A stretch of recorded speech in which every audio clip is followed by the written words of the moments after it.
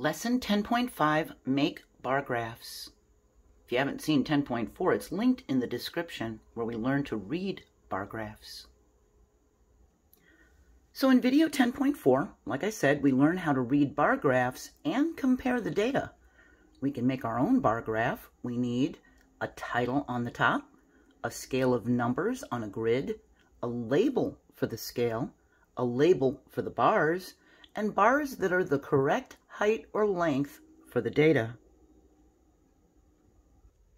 So we can see on this bar graph, it's titled Books Emma Has Read. Here we have our scale of numbers, and we have our labels. The numbers are the number of books, and we have a label for the months, June, July, and August. So let's answer the questions. Emma read a total of blank books. We can find the total of books she read by looking at June, which is 4, July, which is 5, and August, which is 3. We add them. 4 plus 5 is 9, plus 3 more is 12. That means Emma read a total of 12 books. This question says, she read the most books during the month of blank. And we can look at the bar graph for the tallest, the longest bar, and that would be July. That's 5. It's higher than the bar for June or for August. So she read the most books during the month of July. Using a bar graph, it makes it very easy to compare data we can see the month of August was the month she read the fewest books. She only read three. This is a grid. And a grid is a pattern of evenly spaced lines that go left and right, which cross the lines that go up and down. And the lines form, that means they make, squares or rectangles. We can complete a bar graph to show collected data. Let's look at the bar graph first. It says bracelets sold. Here's the number that were sold, and here's the colors, blue, red, green, purple. It's labeled the colors. And it's telling us that Sarah sold five blue bracelets, three red bracelets, two green bracelets, and four purple bracelets. We think we use the numbers on the left side to know the height as the stopping point for each bar.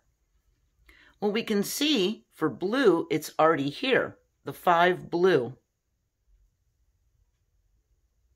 We can see for red, it's at 3, so it already has the three red bracelets drawn. That tells us to complete this bar graph, we need to draw the two green bracelets and four purple bracelets.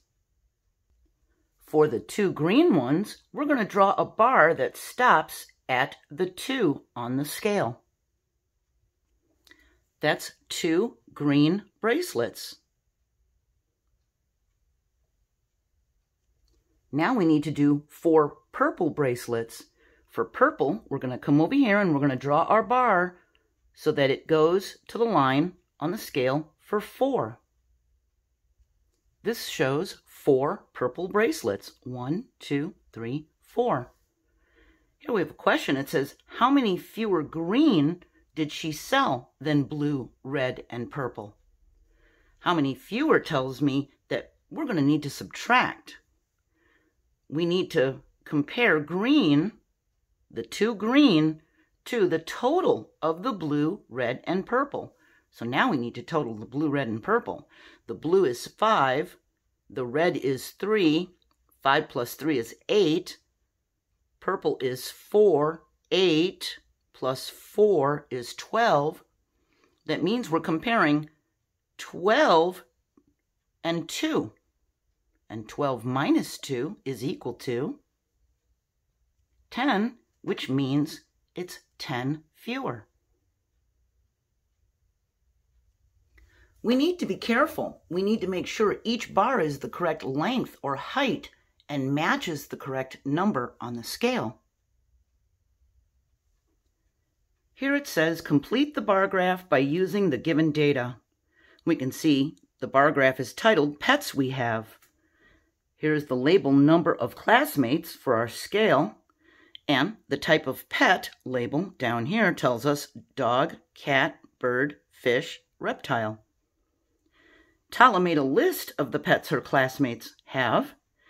Four dogs, five have cat, two have a bird, two have fish, and one has a reptile. We need to draw the bars. We can choose any color we want as long as we choose different colors for each bar. Four have a dog, so for the dog column, we are going to draw it up to four. We choose a color, I chose purple, and we color it up to the number four on the scale. The next one says five have a cat.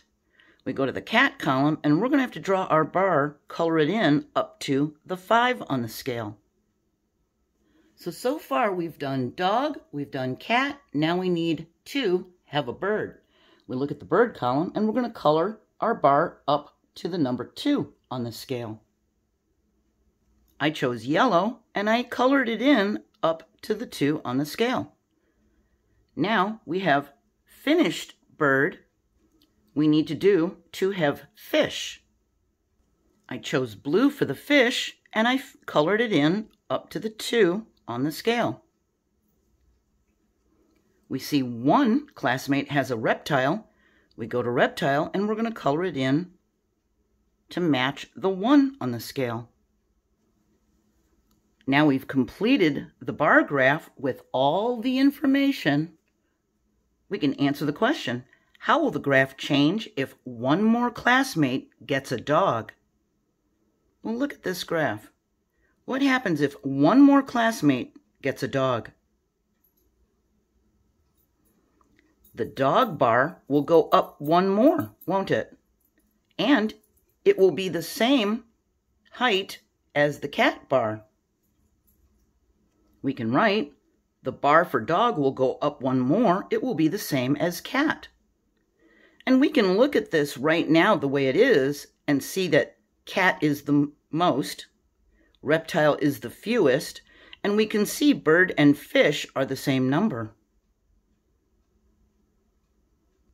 We have one last example. It's telling us to draw bars in the graph to show the data. Here's the data. Two people chose vanilla. We look, it says favorite ice cream. Here's the flavors, vanilla, chocolate, strawberry. Here's the number of people, and here's our scale. Now our scale is on the bottom. If two people chose vanilla, we would go to the vanilla row and color it in up to the number two on the scale. It's telling us four people chose chocolate. We're going to go to the chocolate row and fill in and color up to the number four on the scale. Now it's telling us three people chose strawberry. We're going to go to strawberry and we're going to fill in this row up to the number three on the scale. Now we've filled out the graph, we can answer the questions. How many people chose vanilla or strawberry? We look at the number of vanilla is 2. We look at the number of strawberry is 3. We add 2 plus 3. That means the number of people that chose vanilla or strawberry is 5. It says vanilla or strawberry. We need to add them together. This one says, which flavor did the most people choose? We look at the graph and see that the bar for chocolate is sticking out the farthest. The answer is chocolate. And the last question says, did more people choose vanilla and strawberry than chocolate? We see chocolate is 4, vanilla and strawberry is 5, did more people choose vanilla and strawberry than chocolate? Yes, they did. Chocolate was four, vanilla and strawberries five. That's one more. So yes, more people did choose vanilla and strawberry than chocolate. Make sure you read the problems very carefully. Our next lesson, 10.6, we're going to be doing some word problem solving and displaying data. we're going to see how using these graphs can help us solve a word problem. Have a really great day, and I hope I'll see you next time. Bye.